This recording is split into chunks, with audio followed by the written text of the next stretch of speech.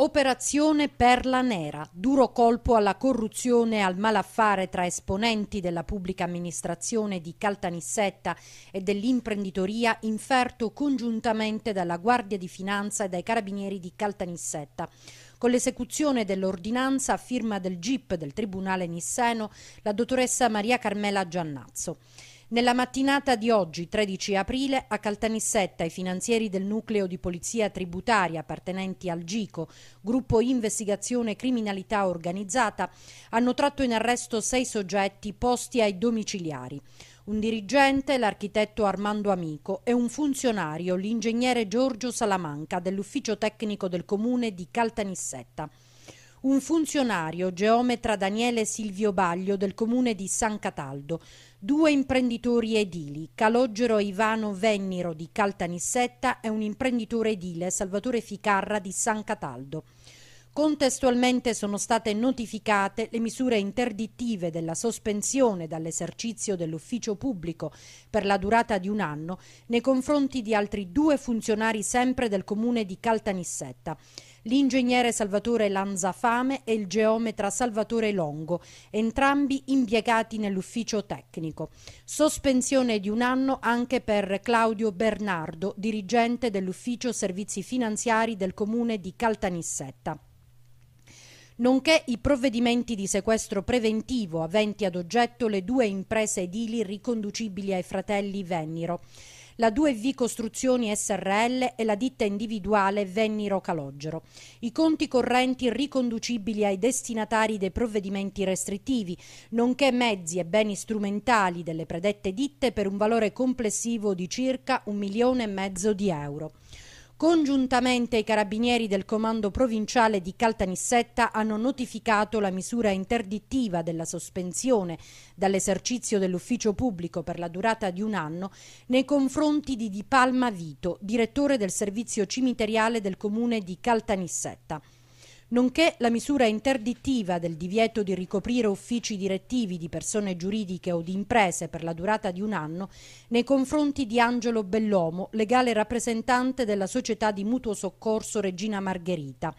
Rosario Scancarello, legale rappresentante della società di mutuo soccorso Mutua Società Cattolica Maria Santissima della Catena. Rivituso Giovanni, legale rappresentante della società di mutuo soccorso denominata Militari in Concedo. Oltre alle misure cautelari, il provvedimento in esecuzione ha disposto anche il sequestro delle società di mutuo soccorso sopraindicate, oltre alla SMS Rosso di San Secondo e la Onlus AMS sezione Calogero Zucchetto è emersa una fitta rete di relazioni e di interessi di natura interpersonale in virtù dei quali gli imprenditori edili coinvolti nelle indagini potevano contare su canali privilegiati con i centri decisionali del comune di Caltanissetta e di San Cataldo, riuscendo così di fatto con il loro aiuto a bypassare le norme che regolano la specifica materia degli appalti pubblici e quindi a beneficiare di agevolazioni e di aiuti di varia natura un vero e proprio sistema Salamanca, attraverso il quale il funzionario comunale, insieme con l'architetto Armando Amico e l'ingegnere Salvatore Lanzafame, esercitava il controllo sull'imprenditoria edile. Nello specifico dalle indagini emerge come lo stesso Salamanca, servendosi di un fitto reticolato di conoscenze, nel tempo formatesi nel mondo dell'imprenditoria e delle libere professioni, proprio grazie all'importante funzione pubblica ricoperta presso l'ufficio tecnico del comune di Caltanissetta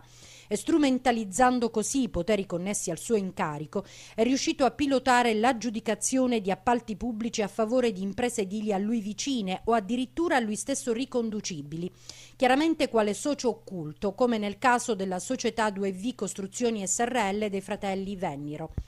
In altre circostanze, disattendendo quelli che sono i doveri propri di un pubblico funzionario, l'ingegnere Salamanca invitava Daniele Silvio Baglio e Salvatore Ficarra, entrambi riferibili alla Ediltecnica Costruzioni SRL,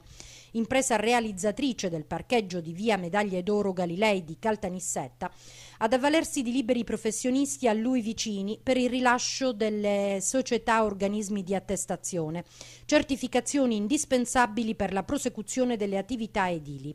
Anche per l'architetto Armando Amico le investigazioni hanno fatto emergere una serie di condotte sicuramente lontane dai doveri di correttezza e imparzialità prevalentemente sostanziatesi nella mancata comunicazione agli organi preposti ai controlli di circostanze e situazioni di irregolarità a lui note, come ad esempio il ruolo occulto ricoperto dal funzionario del comune di San Cataldo, Daniele Silvio Baglio, all'interno della Edil Tecnica Costruzioni SRL, o nella attestazione in atti pubblici di situazioni non vere, anche al fine di aggirare i previsti controlli e di facilitare la predisposizione di SAL di certificati di pagamento. Per l'ingegnere Salvatore Lanzafame sono state ricostruite tutte le sue certificazioni, redatte in qualità di coordinatore per l'esecuzione di lavori pubblici, con le quali aveva attestato falsamente o l'avvenuta esecuzione di controlli presso i cantieri o la regolare verifica degli adempimenti normativi previsti a favore chiaramente di quelle imprese edili come l'Edil Tecnica Costruzioni SRL, vicine ai funzionari e ai dirigenti comunali coinvolti nelle indagini.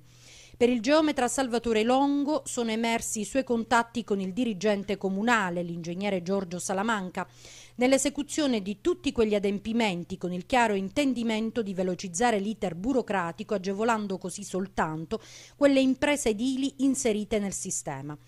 Al filone investigativo approfondito dal nucleo di polizia tributaria della locale Guardia di Finanza si è affiancato quanto emerso da parallela indagine condotta dai carabinieri del nucleo investigativo del comando provinciale di Caltanissetta inizialmente avviata a causa del rinvenimento di resti ossei e teschi all'interno di una cappella gentilizia presso il locale cimitero e successivamente focalizzata sulla gestione del cimitero di Caltanissetta. Gli iniziali accertamenti condotti dai carabinieri hanno permesso di rilevare come la gestione delle sepolture presso il cimitero Angeli fosse caratterizzata da evidente superficialità, scarso controllo e notevole approssimazione. L'assoluta sproporzione, inoltre, è risultata nel numero di loculi disponibili tra quelli comunali praticamente inesistenti e quelli gestiti in concessione dalle società di mutuo soccorso o da altre associazioni. Le associazioni in questione, infatti, sono le uniche detentrici di loculi disponibili presso il cimitero Angeli di Caltanissetta già da diverso tempo stante l'assenza di costruzione di nuove sepolture comunali e di lavori finalizzati alla rotazione dei fornetti occupati dalle salme di più datata sepoltura.